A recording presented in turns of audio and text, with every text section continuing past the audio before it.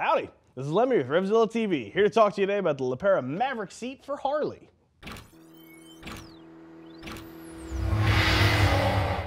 Alrighty, you should be considering a seat for the same three reasons everybody considers a seat. You want your bike to look better, you want your ass to feel better, or you need to change your position on the motorcycle. Le Pera does make this saddle for just about every single family with the exception of the V-Rod. You should be able to find something. Use our bike finder, select your bike, and you're gonna see a multitude of options come up. Installation is easy. Here at Revzilla, we use the one to three beard level scale, and the internal joke is that seats don't even ring in at a full beard. This is like a five o'clock shadow on the three beard scale. Okie doke, breakdown time. Let's start with the outside of this. You can see the profile of this saddle.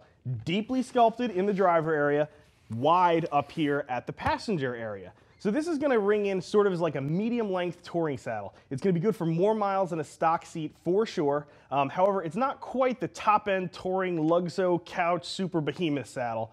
You're gonna be able to put good miles in on this due to this deeply cut sculpted area up front here. And for those of you guys too, who may be a little taller and need to move back on the bike, this seat does come in a daddy long legs version for a few families.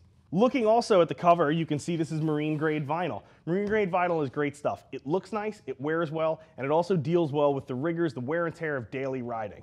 The final thing you'll notice on the outside of this is the stitching. It's got this beautiful stitching on here, and the only reason it exists is to make the seat look nice. And I think it works. So let's get right inside. Flipping this over, the first thing you'll notice is this carpeted area.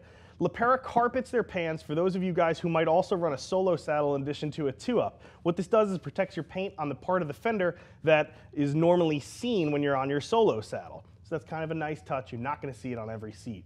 The pan itself, steel. This thing is 14 gauge, it's super thick, it's beefy, it does not give up. Those of you who know about pans know that a stiff pan, a nice unyielding pan, is the secret to a nice feeling saddle. It sounds kind of strange, it sounds counterintuitive. However, when you have a pan that is unyielding, you wind up with a more comfortable ride. The pan is also powder coated, as you can see, black. It looks great. It's going to continue looking great for years to come.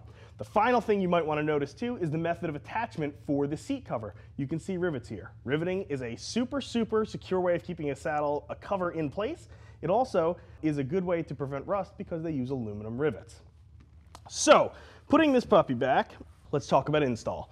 Installation, like all the seats, is cake. You've got, on most Harleys, a tongue at the front that's gonna slip into your frame, and at the rear you have one point of connection. Depending on your year, make, and model, and whether or not someone's been in there before, you're gonna have one bolt, should just be a quarter 20 screw. You might be looking at a flathead, you might be looking at a Phillips head, you might be looking at a Torx.